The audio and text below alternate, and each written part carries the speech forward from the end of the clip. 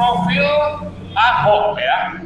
Kenapa kita tolak? Karena beliau ini adalah terduga koruptor. Jadi jangan juga kita bilang ada positifnya. Seperti Mas Arman bilang mungkin bisa meninjau dari sisi lain. Tapi kalau bagi saya ini orang bermasalah ini. Nah Ahok ini sudahlah dia itu mantan napi, punya kasus-kasus dugaan korupsi yang belum ingkrah, tidak punya pengalaman migas, tapi memang didukung oleh oligarki. Termasuk terutama yang dukung itu adalah Presiden Joko Widodo. Siapa sebetulnya yang pantas untuk menjadi uh, dirut Pertamina? Minimal Bu masih oke okay bagi kami, ya. Atau sangat banyak sebetulnya pakar-pakar profesional Indonesia yang punya pengalaman, yang qualified untuk memimpin Pertamina menuju perusahaan kelas dunia. Sama seperti yang saya sebut tadi, ada yang lulusan Oxford, ada yang dari Harvard, ada yang dari Inggris dan sebagainya, yang semuanya ini adalah orang-orang qualified di bidangnya, bukan mengangkat mantan napi.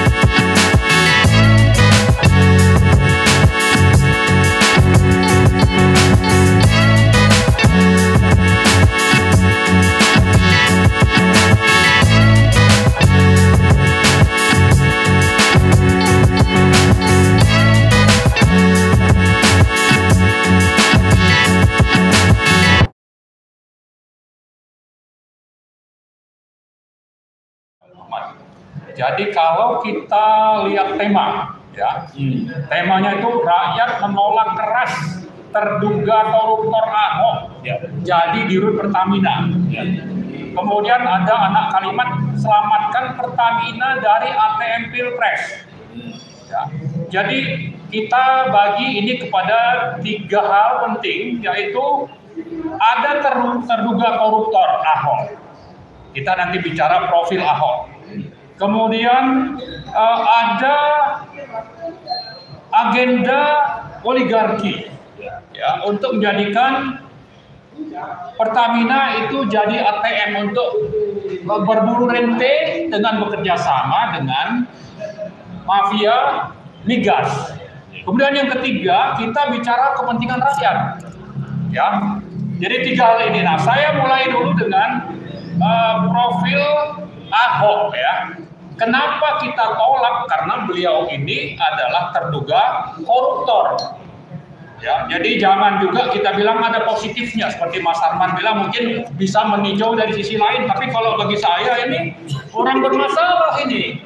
Ya terduga koruptor. Selamat karena di intervensi penguasa ke KPK bahwa orang ini sudah punya catatan kejahatan kalau mau jadi tersangka itu ada cukup alat bukti itu bisa diproses di pengadilan. Minimal ada dua alat bukti. Nah Ahok ini sudah lebih dari dua.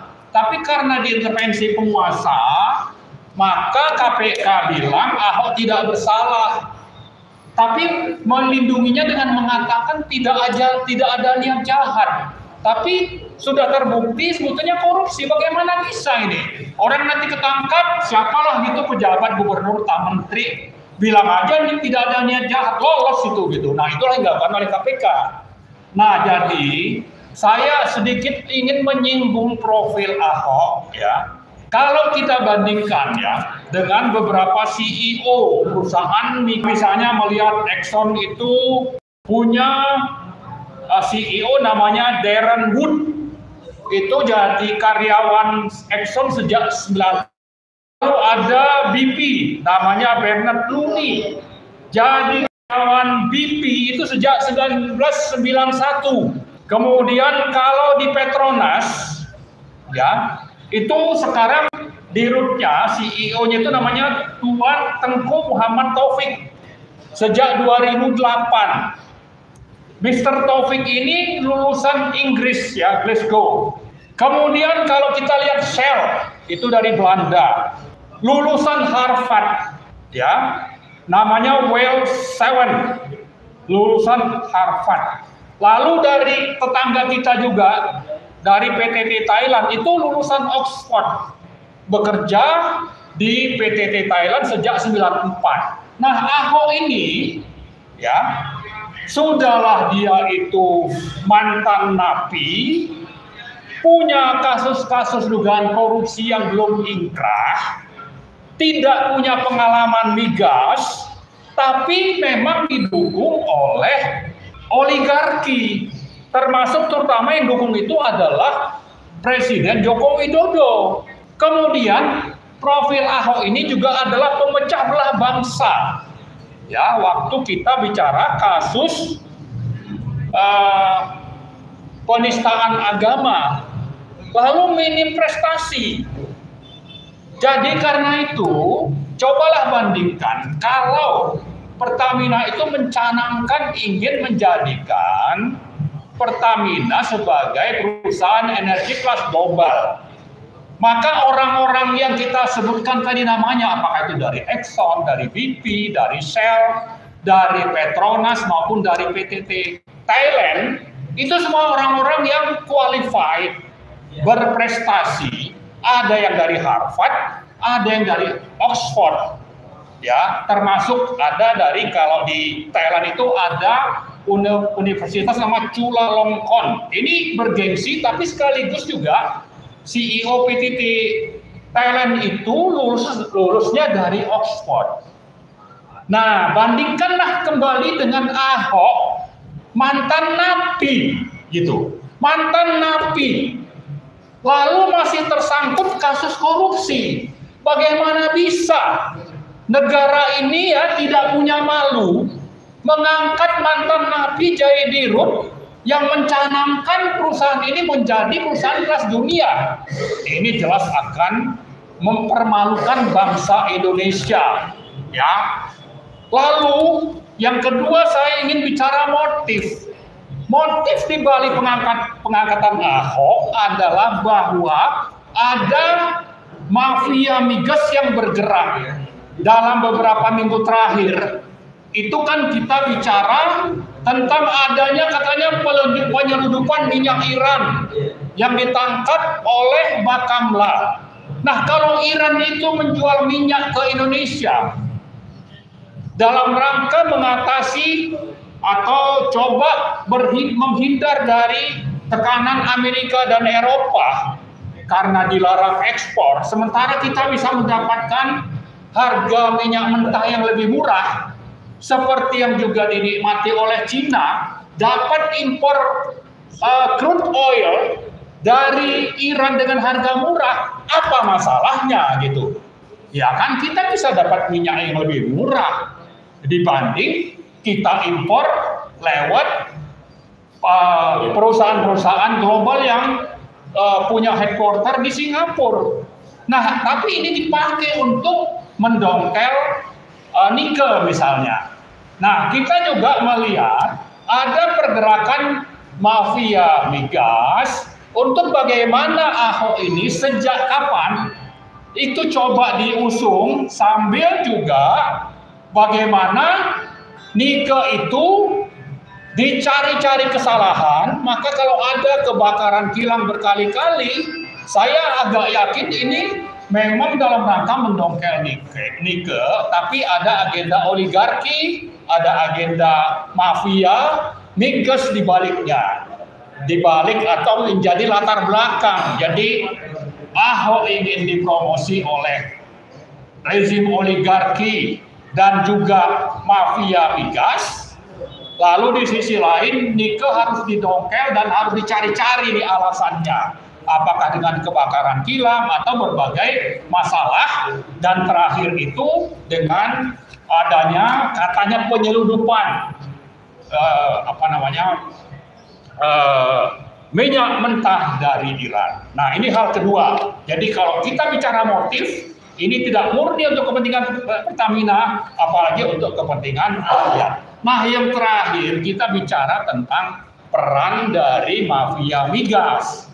Mafia migas ini sangat uh, gampang ya kalau didukung oleh uh, oligarki, penguasa oligarkis untuk mendapatkan rente. Misalnya saya menghitung ya, seandainya konsumsi migas atau minyak BBM Indonesia itu 1,6 juta barrel per hari, kemudian produksi itu antara 600 sampai 700 ribu barrel per hari, maka impor impor BBM dan minyak mentahnya itu antara 900 sampai 1 juta barrel per hari. Nah, mafia migas ini, mafia BBM dan minyak ini bisa berperan dengan memakap menambah harga ya tapi untuk kepentingan oligarki misalnya kalau dimakap 5 dolar per barrel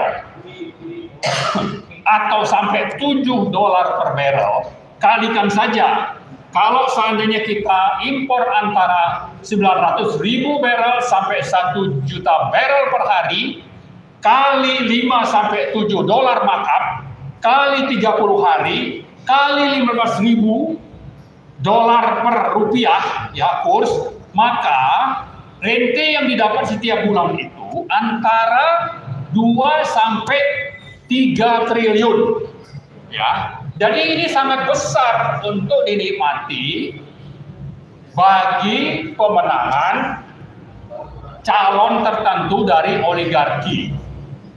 Nah, ini Ahok berperan kelihatannya akan berperan ya untuk bagaimana agenda oligarki dan mafia migas itu untuk mencari-cari alasan supaya diterima rakyat, tapi pada prinsipnya motifnya adalah berburu rente sekaligus untuk melanggengkan kekuasaan dari oligarki.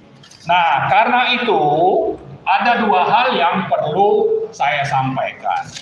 Pertama, kita ingin mengingatkan Presiden Joko Widodo dan juga Menteri BUMN Erick Thohir yang pada tanggal 26 Februari 2020 saya ulang 26 Februari 2020 menyatakan bahwa BUMN itu bukan badan usaha milik nenek lu Ya, ini disampaikan Erick Thohir secara terbuka, dikutip oleh banyak media. Nah, saya ulang ini.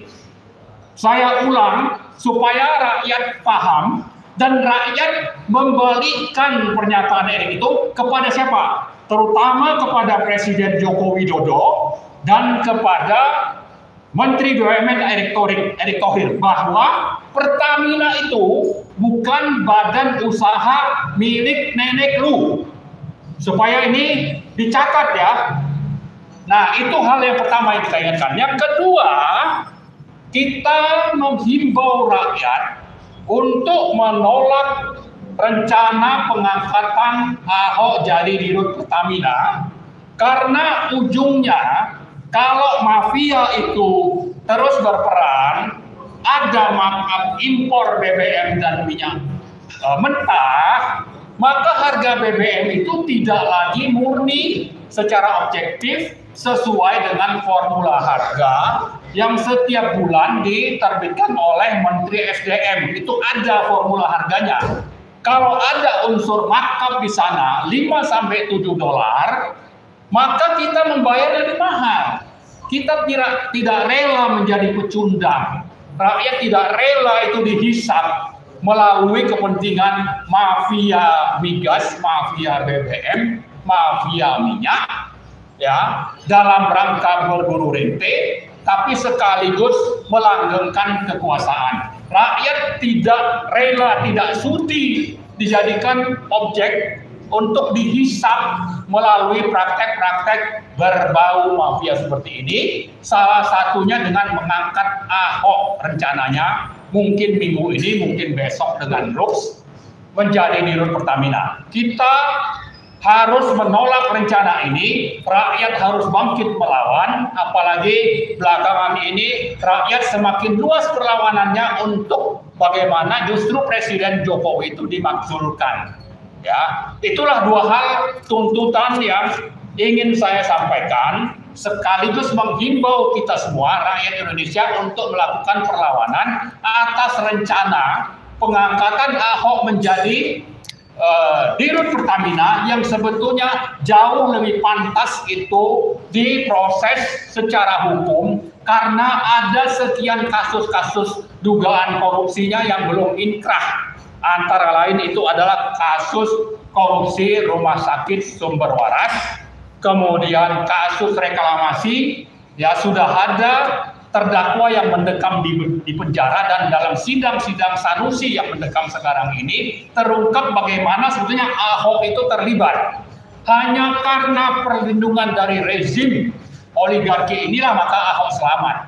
Nah sekarang kok mau dipromosi? Orang yang harusnya pantas masuk penjara ya sudah harus masuk penjara bukan malah dipromosi untuk menjalankan agenda-agenda penghisapan kepada rakyat melalui rencana mafia ya menempatkan Ahok menjadi dirut Pertamina. Saya kira itu saja. Terima kasih. Assalamualaikum warahmatullahi wabarakatuh. Waalaikumsalam warahmatullahi wabarakatuh. Sangat jelas dan lengkap sekali dari Pak Marwan tadi ya. Uh, kita bisa jadi mengerti kenapa tadi Bapak Dr. Mulyadi setelah Pak Kubuti juga menyampaikan, Pak Mulyadi menyampaikan bahwa ini melihat keadaan BUMN BUMN kita ini memang sepatutnya memang dibubarkan, ya, dibubarkan, dikembalikan lagi kepada mekanismenya melalui rakyat berdasarkan undang-undang. Dan maka itu Pak Marwan tadi juga menyampaikan bahwa ini sudah tidak sehat, sangat-sangat tidak sehat orang bermasalah yang dimaksud bermasalah ini adalah Menteri BUMN ini ya, mengangkat orang yang bermasalah juga. Apakah itu prakarsa dari Menteri BUMN atau memang diperintahkan oleh Presiden yang bermasalah juga? Jadi mengapa tadi Pak Mahan menyebutkan berulang-ulang apa yang telah diteriakan di mana-mana ini pantasnya memang salah satunya memang harus dimasukkan tidak bisa tidak ya. Jadi uh, mungkin itu rekomendasi yang disampaikan ya. Saya tidak perlu merinci bahwa dia memang Ahok kalau dilihat orang bermasalah ya dia ada punya kasus korupsi. Dia di, sangat didukung oleh para oligarki dan sebagainya. Dia memang pak sangat pemberani. Ahok ini diangkat karena memang sangat pemberani untuk hal-hal yang sangat bermasalah ini. Jadi rakyat juga harus berani menghadapi ini ya. Harus meminta cegah jangan sampai ya kalau dilihat dari keuntungan dari bisa dikeruk dengan apa itu sedikit dari keuntungan tadi tadi Pak Marah mengatakan per bulan itu bisa sampai 3 triliun.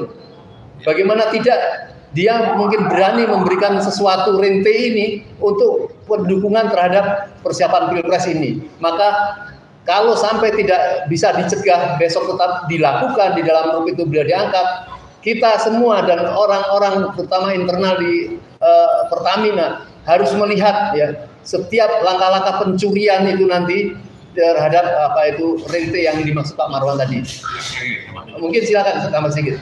Saya ingin mengingatkan kita semua ya yang sudah terkecoh dengan uh, mengusung atau menjagokan Ahok, memuji-muji Ahok, ya sebetulnya mereka ini adalah korban dari gerakan masif pencitraan dan juga buzzer untuk menunjukkan Ahok ini orang yang tegas, orang yang punya, orang yang bersih, dan orang yang berani tadi disebut oleh Om Lim ya. Jadi tegas, bersih, kemudian berani. Tapi uh, ini kan memang gerakan yang sudah direkayasa, direncanakan, didukung oleh buzzer. Maka banyak yang terkecoh. Tapi kalau orang mau sedikit meluangkan waktu melihat apa yang selama ini misalnya kami pernah menulis buku tentang dugaan korupsi Ahok maka akan paham sebetulnya Ahok ini siapa gitu. Hmm. Jadi mari jangan terkecoh. Orang yang tidak punya prestasi, orang yang memang punya masalah, orang yang memang mantan napi dan pemecah belah bangsa, pantasnya memang dikerangkeng, bukan dipromosi. Maka Anda-Anda jangan sampai kembali lagi menjadi korban pencitraan, korban dari gerakan buzzer yang ingin mempromosi Ahok menjadi orang yang sebaliknya. Bahwa ini orang bermasalah justru ingin ditunjukkan eh, ini orang hebat berprestasi. Bukan ini orang bermasalah masalahnya banyak dan silakan Anda luangkan, luangkan waktu supaya jelas siapa sebetulnya yang pantas untuk menjadi uh, dirut Pertamina. Minimal Bu masih oke okay bagi kami ya atau sangat banyak sebetulnya pakar-pakar profesional Indonesia yang punya pengalaman yang qualified untuk memimpin Pertamina menuju perusahaan kelas dunia sama seperti yang saya sebut tadi ada yang lulusan Oxford ada yang dari Harvard, ada yang dari Inggris dan sebagainya yang semuanya ini adalah orang-orang qualified di bidangnya, bukan mengangkat mantan napi.